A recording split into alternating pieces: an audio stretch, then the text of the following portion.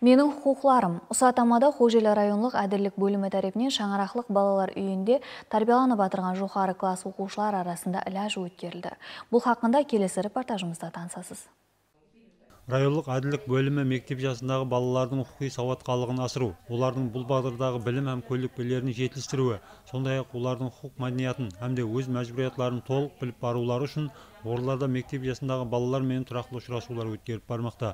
Әділдік бөлімі тарапынан шаңырақылық балалар үйінде тәрбияланып отырған тоғызыншы он бірінші класс оқушылары арасында менің құқықтарым күні шөкіместірілді ләжа жастардың өз құқықтарын білуі бұл бағдардағы білімлерін арттыру сондай ақ елімізде құқық тарауындағы соңғы өзгерістер жаңалықтар хақында хабардар етумен бірге тарауларды әмелге асырылып жатырған реформалардың мазмұн мәнісі ахметі түсіндірілді. Yoshlarimiz hozirgi kunda oilaviy bolalar uyida tarbiyalanayotgan to'qqizinchi va o'n birinchi sinf tarbiyalanuvchilari o'rtasida mening huquqlarim kuni tashkil etildi.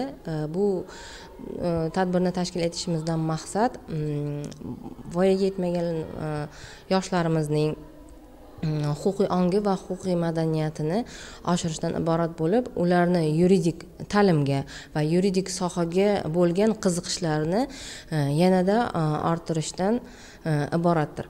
Bu tadbirlarimiz yanada boshqa joylarda ham tashkil etiladi.